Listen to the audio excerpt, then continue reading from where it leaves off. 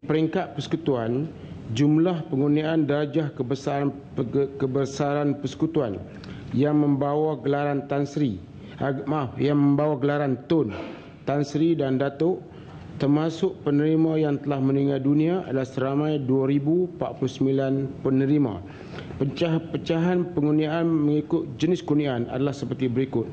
Seri Maharaja Mangkunegara SMN Tun jumlah penerima 39 Seri Setia Mahkota SSM Tun.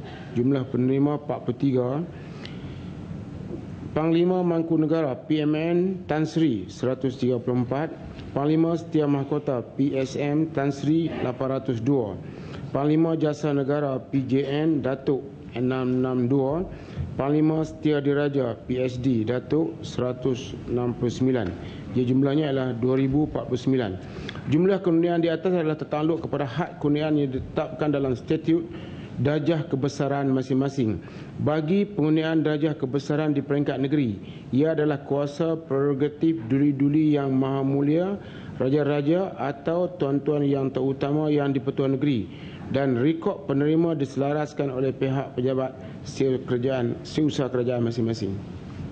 Menerima sebarang maklumat. Pertanyaan, pertanyaan saya. Pernahkah kerajaan menerima sebarang maklumat ada pihak yang terlibat dalam niaga geralan kebesaran?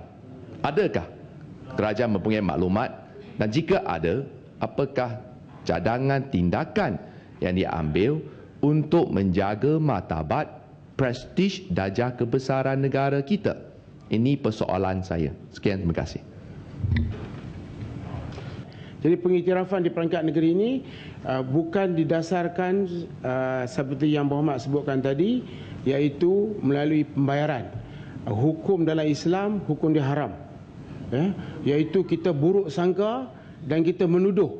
Kalau yang Muhammad ada bukti bahawa datuk ini diperniagakan, kita hendaklah bawa ke tengah.